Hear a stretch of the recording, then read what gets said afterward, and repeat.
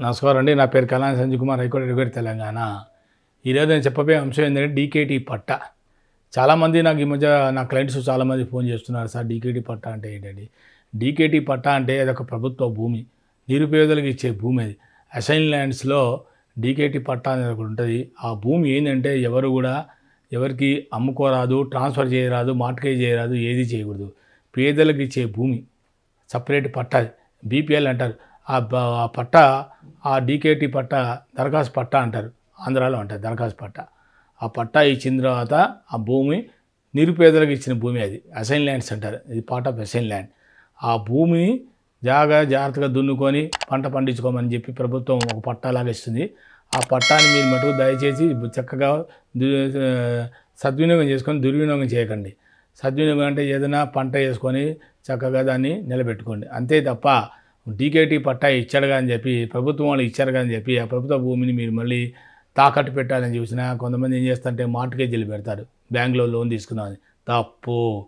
ఆ భూమిని కనుక మళ్ళీ మీరు కానీ ఎక్కడైనా ప్రభుత్వ భూమిని కానీ మీరు ఎక్కడైనా తాకట్టు పెట్టినా మార్ట్గేజ్ చేసినా ట్రాన్స్ఫర్ చేసినా గిఫ్ట్ చేసినా ఎన్ని రకాలు ఏ రకం చేసినా కూడా అది ప్రభుత్వ దృష్టికి కానీ వెళ్తే కనుక ఆటోమేటిక్గా వాళ్ళు వెంటనే లాగేసుకుంటారు.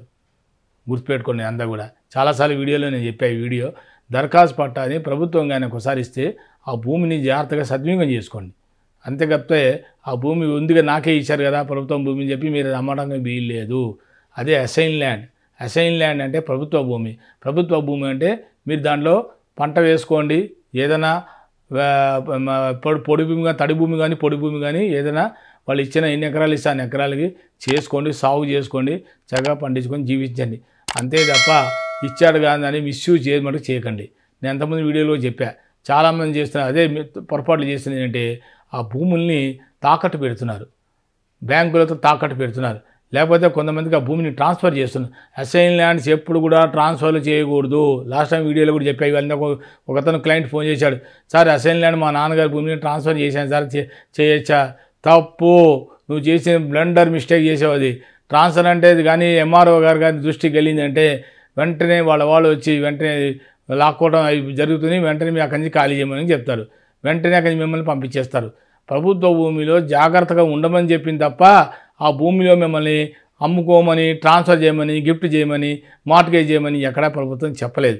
పట్టాలోనే వెనకసారి ఒకసారి మీరు చదువుకోండి. పట్టాలో చాలా క్లియర్గా రాశారు. పట్టాలో రాసింది ఏంటంటే పంతొమ్మిది వందల డెబ్బై ఏడులో ఒక చట్టం ప్రొహిబిషన్ ట్రాన్స్ఫర్ యాక్ట్ అని ఒకటి వచ్చింది. ఆ యాక్ట్లో కూడా క్లియర్ కట్గా చెప్పని చేస్తే ట్రాన్స్ఫర్లే లేవు.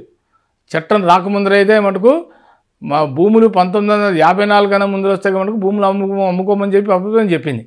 ఆ తర్వాత ఆంధ్రాలో ఆ తర్వాత భూములు వచ్చిందని ఉన్నదాన్ని కాపాడుకోమని చెప్పింది. అంతే తప్ప మీ వారసత్వంగా ఉండొచ్చు దాంట్లో తప్పులేదు. మీ తండ్రి మీ తండ్రి చనిపోయిన తర్వాత మీరు మీ పిల్లలు అట్లా వంశపరంగా వంశపారంగా ఉండొచ్చు తప్పులేదు. కానీ ఆ భూమి అలాగే ఉంచుకోవాలి తప్ప దాన్ని మార్టిగేజ్ చేయడం కానీ ట్రాన్స్ఫర్ చేయడం కానీ గిఫ్ట్ చేయడం కానీ ఇలాంటివన్నీ చేయకూడదు. డీకే దరఖాస్తు పట్టా ఇచ్చింది. అది ప్రభుత్వ భూమి. ప్రభుత్వ భూమి ఇచ్చినప్పుడు ఆ పట్టాని జాగ్రత్తగా మీరు దాంట్లో ఉండండి నివసించండి ఏమైనా సాగు చేసుకోవడానికి సాగు చేసుకోండి.